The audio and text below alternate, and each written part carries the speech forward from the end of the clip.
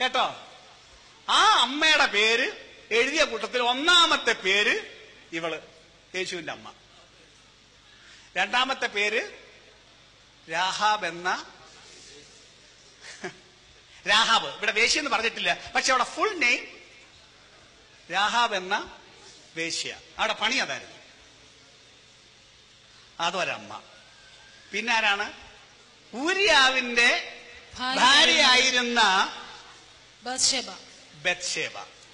അവൾ കുഴപ്പമൊന്നും കാണിച്ചില്ലെങ്കിലും മറ്റേ പുള്ളിക്ക് വികാരം ഇളമ്പിയൊക്കെ ഉണ്ടായ ഒരു പ്രശ്നമല്ലേ ഇത്? അവിടെ മാപ്പിളയും കൊന്ന് ഇവളെ എടുത്ത് കണ്ടില്ലേ? അവിടെ പശ്ചാത്തലം ഇതാ. പിന്നെ രൂത്ത് മറിയ. മറിയ കുഴപ്പമൊന്നുമില്ല. എന്നാലും ഈ അമ്മമാരുടെ പേരൊക്കെ പറഞ്ഞപ്പോഴേ ഞാൻ എന്താ ഇത് പറയുന്നതെന്നറിയാവോ? അയ്യോ കേരളത്തിലെ മനുഷ്യരെന്ന് പറഞ്ഞാൽ കുടുംബഭാര്യത്തെമ്പരത്തിന്റെ പൊങ്ങച്ചം അങ്ങ് അറ്റാണ്. ഇത്രയും കുടുംബ പാരമ്പര്യത്തിന്റെ പൊങ്ങച്ചം പറയുന്ന ഒരു വർഗം അഖിലാണ്ട തീവ്ര കാണുകയില്ല. സ്തോത്രം. ഞാൻ ഒരിക്കൽ ഇവിടെ ഒരു ഗൾഫിൽ വന്നപ്പോഴേ ഒരു ദേശത്ത് വന്നപ്പം ഒരു മനുഷ്യൻ അവിടെ ഒരു ഞാൻ കുറച്ചാൾ കഴിഞ്ഞപ്പോ ഒരു ഉപദേശി ഉപദേശിയായി അപ്പൊ ഉപദേശി വന്ന് എന്നോട് ചോദിക്കുകയാണ് ഇന്ന കുടുംബത്തെ അറിയാമോ? ഞാൻ എന്റെ ആഴ്ച കേട്ടിട്ട് പോലും ഇല്ല. അങ്ങനെ വലിയ പ്രശ്ന കുടുംബമൊന്നുമല്ല എന്നിട്ട് എന്നോട് പറയാണ് ഞങ്ങളെപ്പോലെ ഉള്ളവരെ ഒന്നും കർത്താവിന് കിട്ടത്തില്ല. ഇപ്പോഴും ഉദ്ദേശിയ എന്നിട്ടും പറയുന്നത് ഞങ്ങളെപ്പോലുള്ളവരെ ഒന്നും കർത്താവിന് കിട്ടത്തില്ല. അത്ര കൂടിയ കുടുംബത്തിലെ പുള്ളിയാണ്.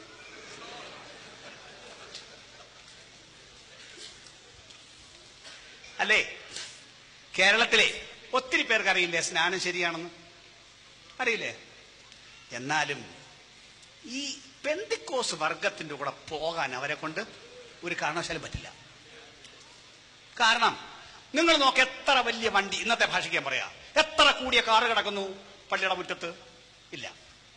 അങ്ങ് കൂടിയ കുടുംബക്കാർ എത്ര ഉണ്ട് അതിനകത്ത്? ഇല്ല. അതുകൊണ്ട് അവരോട് ഞാൻ പോകത്തില്ല. എന്ന് പറഞ്ഞാലേ യേശുവിന്റെ കൂടെ പോകാൻ പറ്റുമോ പറ്റുമോ അല്ല വലിയ പൊങ്ങച്ചം പറയുന്നത് നിങ്ങൾ കുടുംബത്തിന്റെ പൊങ്ങച്ചം എല്ലാം പറയുന്നല്ലോ. നമ്മളെല്ലാം വാസ്തവത്തിൽ ഒരപ്പന്റെ അമ്മയുടെ മക്കളല്ലേ? അല്ലേ? പിന്നെ നിങ്ങൾ ഈ കുടുംബ പാരമ്പര്യം പറഞ്ഞ എന്റെ ഭാഷയ്ക്ക് ഞാൻ പറയുകയാണ് നിങ്ങൾ കുറച്ച് പുറകോട്ട് എണ്ണം. ഒരു കുന്ന് കാണുമ്പോൾ നിങ്ങൾ അവിടെ അങ്ങ് നിർത്തും. നിർത്തിയിട്ട് പറയും ഇതാ എന്റെ കുടുംബം. കുറച്ചുകൂടെ ഇറങ്ങിയാൽ പാതാളമുണ്ട്. അവിടെ പോകുക നിങ്ങൾ പോകത്തില്ല.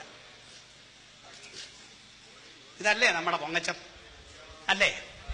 ദൈവപുത്രന്റെ കൂടെ പോണോ? കുടുംബത്തിന്റെ പൊങ്ങച്ചം താത്തു വെക്കണം. വലിപ്പം പറയുന്നത് നിർത്തി വെക്കണം. ഹ, അത്തിൽ സകല സ്വർഗത്തിലും ഭൂമിയിലുമുള്ള സകല കുടുംബത്തിനും പേർ വരാൻ കാരണമായവൻ. അത് മുഴുവൻ വിട്ടുകളഞ്ഞ് ഈ ഒരു മണ്ഡലം എടുക്കാൻ തയ്യാറായെങ്കിൽ അതിനെ വിളിച്ചു പറയാനുള്ളത് താഴ്ത്തി വെക്കൂ കുടുംബത്തിന്റെ പൊങ്ങച്ചം പറയുന്നത്. നിർത്തു നിർത്തു. എന്നിട്ട് വിളിച്ചു പറ കർത്താവേ നിന്റെ കൂടെ ഞാൻ വരുന്നു. യേശുവേ നിന്റെ കൂടെ ഞാൻ വരുന്നു. ഇന്ന് പകൽ ഞാൻ വിളിച്ചു പറയുകയാണ്. ജീവിതത്തിന് ആത്മീക ജീവിതത്തിന് ഇറങ്ങിത്തിരിക്കുന്നതിന് നിങ്ങളുടെ കുടുംബ പാരമ്പര്യം ഒരു ഉയർച്ചയും നിങ്ങൾക്ക് തടസ്സമെങ്കിൽ നിങ്ങൾക്ക് യേശുവിനോടൊപ്പം പറ്റില്ല. പറ്റില്ല. യേശുവിന്റെ കൂടെ പോണോ? ഈ പൊങ്ങച്ചൻ താത്തു വെക്കുന്നവനെ പറ്റുള്ളൂ നിങ്ങളുടെ കുടുംബവും പറഞ്ഞുകൊണ്ട് നിങ്ങൾക്ക് പാതാളത്തിൽ പോകണമോ? അതോ കുടുംബത്തിന്റെ ഉയർച്ച വിട്ടുകളഞ്ഞിട്ട് യേശു ക്രിസ്തുവിനെ ക്രൂശം ചുമന്നുകൊണ്ട് അവന്റെ പിന്നാലെ പോകാൻ ആഗ്രഹമുണ്ടോ? ഇന്ന് ഇന്ന് പകൽ ഈ വചനം കേൾക്കുന്നവര് കുടുംബത്തിന്റെ ഉയർച്ച പറഞ്ഞ് ഇന്ന് വരെ സ്നാനമെടുക്കാൻ മടിച്ചിരുന്ന ഒറ്റ ഒരാളുണ്ടെങ്കിൽ ഒറ്റ ഒരാളുണ്ടെങ്കിൽ ഈ വചനം നിങ്ങളോട് വിളിച്ചു പറയുന്നു. ഇവിടെ നിന്ന് ഇറങ്ങിപ്പോകുന്നതിന് മുമ്പ് ഇരിക്കുന്ന ഇരിപ്പ് ഇന്ന് തീരുമാനിക്കൂ. സ്നാനമേറ്റ് യേശുവിനൂടെ പോകാൻ പോകുന്നു. യേശുവിനോട് ഇത് താഴ്ചയല്ലെന്നേ.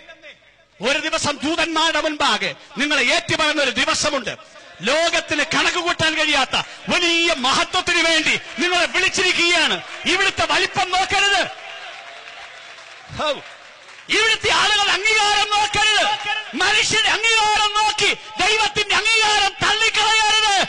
ഇന്ന് പകൽ പൗലാസ് വിളിച്ച് പറഞ്ഞതുപോലെ പറ. ഞാനത് മുഴുവൻ ചപ്പെന്നും ചവറെന്നും എണ്ണുന്നു സ്തോത്രം. അടുക്കള മീൻ വെട്ടിയിട്ടേ വാലും ചെതമ്പലും എല്ലാം കൂടെ കളയാനല്ലേ വെക്കൂ?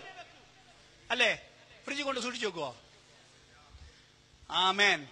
വലിയ പൊങ്ങച്ചം പറയുന്ന പോലെല്ലാം ഇതെല്ലാം വാരി എടുത്തു കളഞ്ഞും വെച്ച് അവന്റെ ക്രൂശ്യം എടുത്തുകൊണ്ട് അവന്റെ പിന്നാലെ പോകൂ. അവൻ തന്നെ താൻ താഴ്ത്തി മരണത്തോളം ക്രൂശിലെ മരണത്തോളം അനുസരണമുള്ളവരായി തീർന്നു. ഒരു കാര്യം കൂടെ ഞാൻ വിളിച്ചു പറയട്ടെ ഞാൻ വാക്ക് നിർത്തട്ടെ. സ്തോത്രം. യേശു ഭയങ്കര അധികാരമുള്ളവനായിരുന്നു. എന്തോ ഒരു ശക്തിയുള്ളവൻ. വരണ്ട കൈയുള്ളവനോട് നിവർത്തു എന്ന് പറഞ്ഞ ഒറ്റ സെക്കൻഡ് കൈ തോന്നു. സ്തോത്രം. കാലില്ലാത്തവനോട് ഏതാക്കാൻ പറഞ്ഞാൽ കാലം ഉണ്ടായി വന്നു. അല്ല എല്ലാം കൂടെ ചുരുണ്ട് മടങ്ങിയിരിക്കുന്നത് നേരെയായി. ഇതല്ലേ അവിടുത്തെ അധികാരം? അങ്ങനെയാണെങ്കിലേ കൈ നീണ്ട ഒരുത്തനോട് മടങ്ങി പോട്ടെന്ന് പറഞ്ഞാൽ മടങ്ങില്ലേ? ഇല്ലേ? അയ്യടാ അത് അവിടത്തേക്ക് വലിയ കാര്യമാണോ? നിങ്ങൾക്ക് ഓർമ്മയുണ്ടോ? ഇച്ചിരി ഈ കുരുത്തം കണ്ട പിള്ളര്. ഒരു ദിവസം ഒരു പ്രവാചകൻ വരുന്ന പുള്ളിക്കാരൻ കഷണ്ടിക്കാരനായിരുന്നു. ഓർമ്മയില്ലേ? ഏ? പിള്ളേര് കുരുത്തക്കാരനെ വിളിച്ചു പറഞ്ഞാണ്. വലിയ അർത്ഥമൊന്നുമില്ല. മട്ടത്തലയാ മട്ടത്തലയാന്ന് വിളിച്ചു. സംഭവം എന്താ സംഭവിച്ചേ? കാട്ടിൽ നിന്ന് രണ്ട് കരടി ഇങ്ങോട്ട് കയറുന്നു പിള്ളേരെ എല്ലാം കൂടെ കീറിയെടുത്തും കിട്ടു ഒരു പ്രവാചകനെ കളിയാക്കിയതിന്. ഏ? ദൈവപുത്രൻ വന്നപ്പോഴേ എത്ര കളിയാക്കി? ഇവന് പ്രാന്തുണ്ടെന്ന് പറഞ്ഞില്ലേ? തിരിച്ചാ വിളിച്ചു പറഞ്ഞോ? നിനക്ക് ഭ്രാന്ത് പിടിക്കണമെന്ന് പറഞ്ഞോ? പറഞ്ഞില്ലല്ലോ. എറിയ കല്ലെടുത്ത് പോക്കറ്റ് ഇട്ടോണ്ട് സ്ഥിരം യോഗത്തിന് പോകുന്ന വിളികളുണ്ടായിരുന്നു കല്ലെടുത്ത് എറിയാൻ നിസ്സാരങ്ങൾ ഉണ്ടായിരുന്നു അവൻ പറഞ്ഞോ നിന്റെ കൈ മടങ്ങി പോകട്ടെന്ന്? പറഞ്ഞോ? കുറിച്ച് പറഞ്ഞല്ലോ. നിന്റെ നാവ് അടഞ്ഞു പോകട്ടെ എന്ന് അവൻ പറഞ്ഞോ? പറഞ്ഞില്ലല്ലോ. ക്രൂശിൽ ആക്ഷേപിച്ച് എത്ര പേര് നിൽക്കുന്നു. അത്തറച്ചതിന് ശേഷം. എടാ കള്ള ഇത്രയും കാലം എല്ലാവരും കളിപ്പിച്ചില്ലേടാ. ഞാൻ നാടൻ മലയാളത്തിലങ്ങ് പറയാ. അവിടെ പറഞ്ഞ ആ ഭാഷയല്ല അവിടെ എഴുതി വെച്ചിരിക്കുന്നെങ്കിലും നമ്മുടെ നാടൻ മലയാളത്തിൽ പറഞ്ഞ അങ്ങനെ തന്നെ പറഞ്ഞടാ കള്ള. ഇത്രയും നേരം എല്ലാരെയും കളിപ്പിച്ച് നീ ദയ്യോ എന്ന് പറഞ്ഞ് നടന്നില്ലേടാ. ഇറങ്ങി വേടാ ചതിയ എന്ന് വിളിച്ചു പറഞ്ഞിട്ട് ഒരു വാക്ക് തിരിച്ചുത്തരം പറഞ്ഞു? സ്തോത്രം. സ്തോത്രം. അവിടുന്ന് ഉത്തരം പറഞ്ഞില്ലെന്ന് മാത്രമല്ല ദൈവം പറഞ്ഞോ? അവൻ അവനെ ഈ നമ്മളെ നിങ്ങളുടെ പിള്ളേരെ വല്ലൊരു ഉപദ്രവിച്ചാൽ? ഏത് തന്തയും തള്ളയും?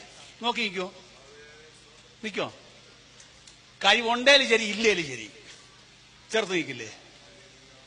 നമ്മുടെ ദൈവത്തിന് സകല കഴിവുണ്ടായിട്ടും ചെറുത്ത് നിന്നോ? ഇല്ലല്ലോ.